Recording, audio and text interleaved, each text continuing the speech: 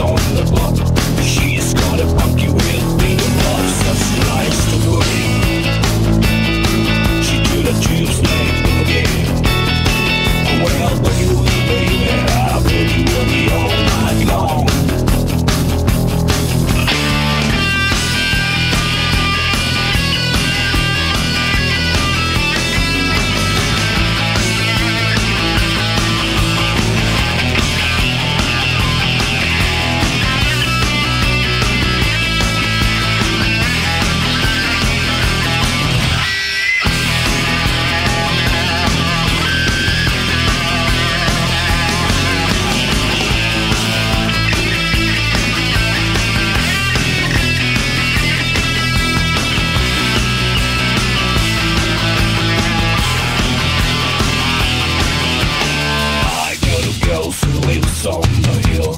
She won't do it, but her sister will when she believes.